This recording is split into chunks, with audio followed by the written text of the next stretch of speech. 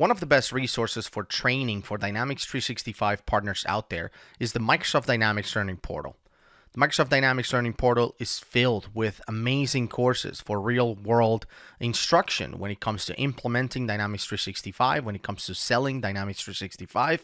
But as you can see, we're dependent on a plan to be able to access Dynamics Learning Portal, a training plan. And as you can see, mine just expired. Sorry, your access to DLP failed. This happened because recently my training pack expired. And until recently, training packs costed $1,000 per year for partners out there. And a lot of partners that perhaps don't have a Dynamics 365 practice or perhaps don't have the amount of people that you know would require uh, access to this readiness content sort of stayed away from um, getting that training package. The good news is that recently Microsoft made access to DLP and the training package needed to access DLP 100% free. So, in this special edition of a 2 Minute Tuesday, I'm going to show you how to access Dynamics Learning Portal for any partner out there for free. Instructions on how to order or renew your Dynamics training pack is detailed on this six page document. There's 23 easy steps on how to go through this process and essentially acquire this training pack for free.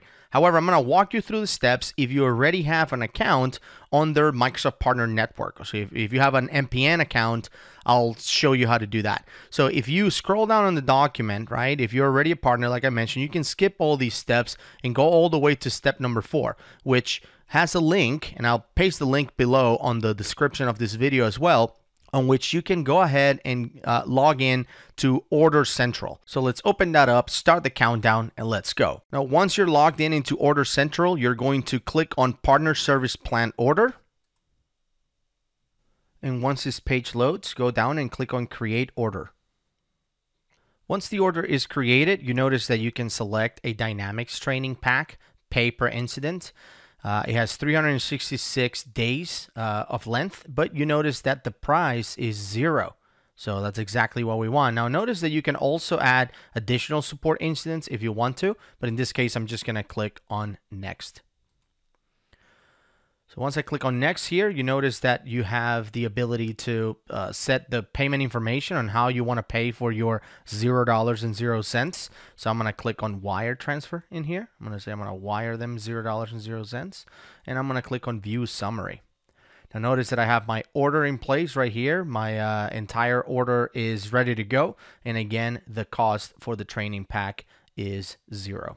So let's scroll down here and we're going to click on submit order. And that's it. You just submitted an order for $0 and 0 cents to a training pack that will give you access to Dynamics Learning Portal for free.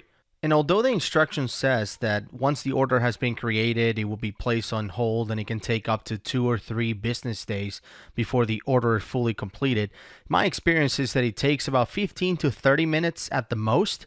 And uh, after waiting for a few minutes, as I mentioned, 15 to 30 minutes, I'm ready to go back and try access to Dynamics Learning Portal. So I'm going to go back to the uh, page where we started from after we tried to log in and just navigate to Dynamics Learning Portal.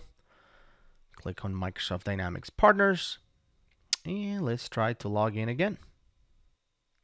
And that's it. That's my access to Dynamics Learning Portal.